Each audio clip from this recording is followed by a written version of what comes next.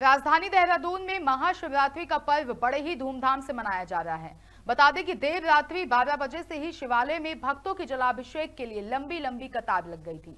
इसके तहत ही शिवालय के आचार्य ने बताया कि यमुना कॉलोनी स्थित शिव मंदिर में कार्तिक पूर्णिमा के दिन नमदेश्वर के एक महाकाल रूप को विधि विधान से स्थापित किया गया है। उनका कहना है कि आज का दिन शिव पार्वती के विवाह का दिन है।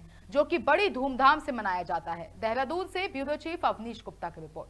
ये बहुत अति प्राचीन स्थल है। ये 1960 में जब यमुना कॉलोनी के लिए ज़मीन का अधिग्रहण हुआ था, ये शिव मंदिर उससे भी पहले का है। और यहाँ पे अभी हमने कार्तिक पूर्णिमा के दिन महाकाल को नर्मदेश्वर महादेव को स्थापित करवाया है और ये जो नर्मदेश्वर महादेव के जो बावन स्वरूप है, उनमें से एक मुख्य स्वरूप है महाकाल का, यहाँ पे वो स्थापित है। रात को 12 बजे से और सुबह चार बजे से भक्तों का यहाँ पे आना शुरू हो जाता है। और पिछले पचास साठ साल से अनेक लोग यहाँ कार्यरत थे जो सेवानिवृत्त होकर चले गए हैं।